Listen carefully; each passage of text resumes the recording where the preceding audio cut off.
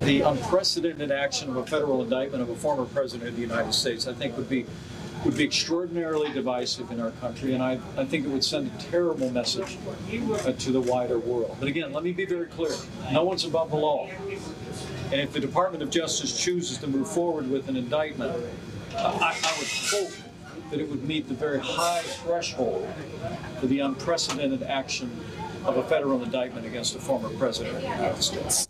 In so many ways, it's been a consequential week for these former running mates Donald Trump and Mike Pence, with Pence launching his campaign in Iowa and at least in some ways taking on his former boss a bit more directly than he has in the past. Zach Fisher was at Pence's campaign launch in Iowa.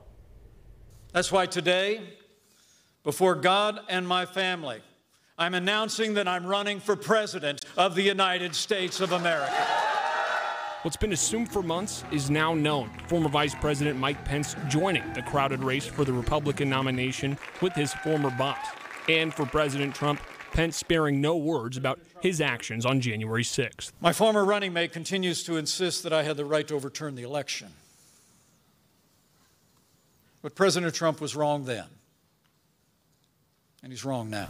Pence also going after President Biden and his administration, saying that this election is the turning point. So the first step to turning America around is ending this disastrous presidency. So here in Iowa, we must resolve that Joe Biden will never be reelected as President of the United States. The former vice president says his campaign will be the fiercest protector of the unborn. As your president, I will always stand for the sanctity of life, and I will not rest and I will not relent until we restore the sanctity of life to the center of American law in every state in the land.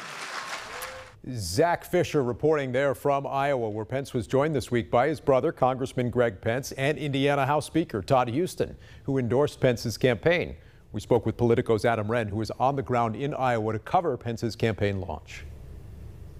Pence uh, uh, announced uh, really focusing on a on a Reagan-esque, sunny, optimistic vision for the country. Not something we've heard from a ton of the candidates so far. They've painted a very bleak picture. Not so much a, a, a shining city on a hill, but sort of a dark post-apocalyptic landscape. Um, and so Pence really stood out uh, to me for how you know, with both with his video and his announcement today uh, in, in Iowa, uh, with a really sunny version of where he wants to take the party in the country. Uh, give us some of the flavor there in Iowa from what you've seen in terms of others from Indiana making the trip, what you're hearing from those in Indiana politics about this new Pence campaign for president.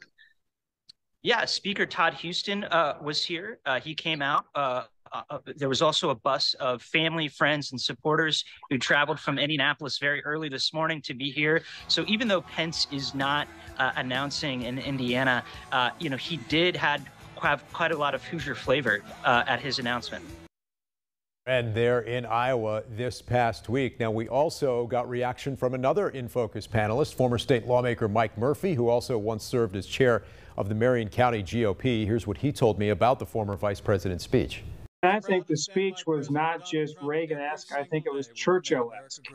He laid out a principled conservative agenda for leadership, uh, not just here in the United States, of course, but worldwide.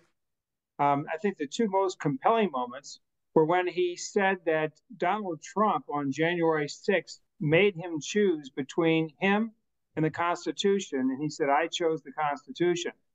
The other compelling moment was when he talked about Ukraine and he said, Ukraine is not our war, but freedom is our fight clearly differentiate himself between the populists and the conservatives. And I think you'll see a resurgence of conservative principles under under Pence, and the pretenders, the, the populist pretenders, will fade back into their caves. Did he take on the former president more directly than you had expected him to? He's kind of toed a difficult line trying to balance that here in recent months. Was it was it even more than you'd expected him to say?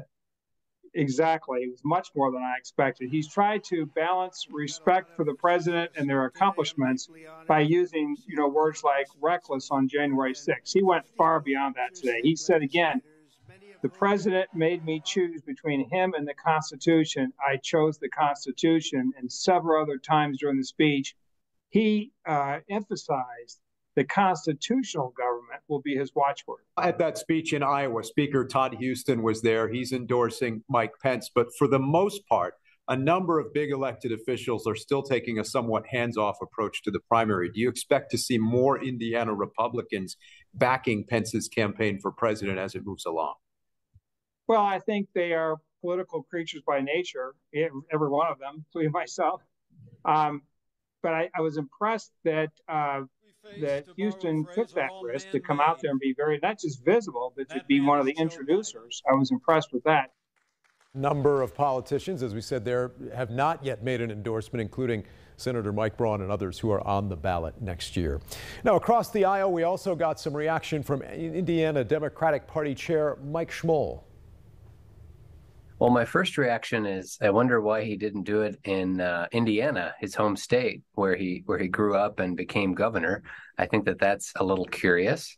Um, but I think that's my first reaction. I think my second one is um, he is going to have uh, some folks to contend with. And first and foremost is his former boss, the former president, Donald Trump. And so he is really uh, kind of making history challenging his former boss uh, for the nomination. I think that you're seeing a huge uh, split in the Republican Party on, you know, do they want to go with Trump again? A lot of people, probably a majority of people, like Donald Trump in the Republican Party, or do they want to try uh, and go another course? And so, um, I've learned in politics uh, that it's it's impossible to predict the future. You have no idea where things are going, but but somebody like Mike Pence has a really really big uphill climb.